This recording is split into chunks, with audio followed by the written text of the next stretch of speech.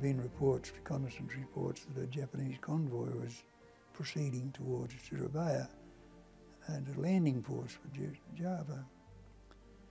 So we went out as a battle group to intercept them and uh, try and destroy the convoy, whatever. Anyway, we bumped into the warships uh, first.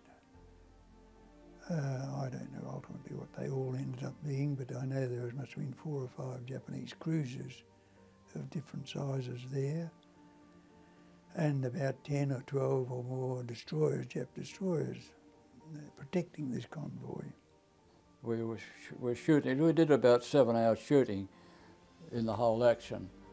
And uh, at some of those stages, the, the guns would be going continuously for, say, 20 minutes. And uh, in that time, there'd be a bag about every 20 seconds going up the chute. We had quite a few near misses, but we'd only know that by the noise. And um, sometimes it was just as if somebody stood off with a great big chain and lashed the ship with a great big chain.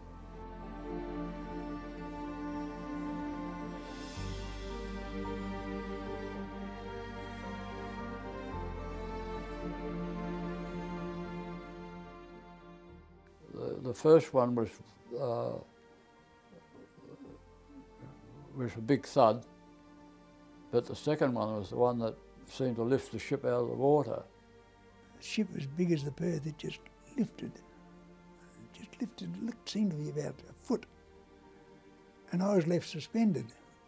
The deck dropped down and then I dropped on top of it, you know, fell down on my feet. And, uh, and then, a few seconds later, I was drenched with water. It seemed like tons of water fell on my head. And then the abandoned ship order came through the uh, uh, amplifier somehow or other, it got through. And uh, we were told to abandon ship.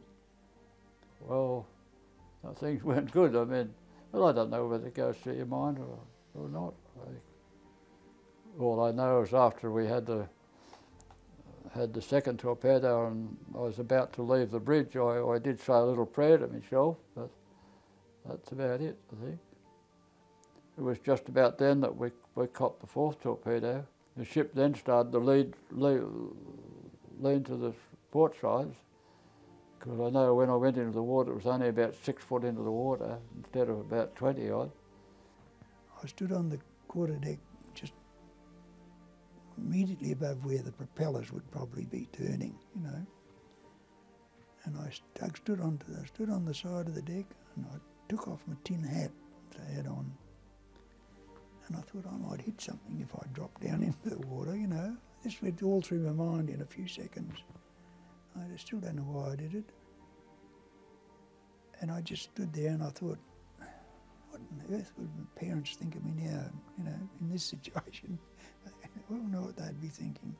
After you'd been in the water from midnight until five o'clock in the afternoon, I, I, I, think you'd be glad to be picked up by anybody actually. We weren't getting any closer to the shore at all. Oh, how long can you go on like that?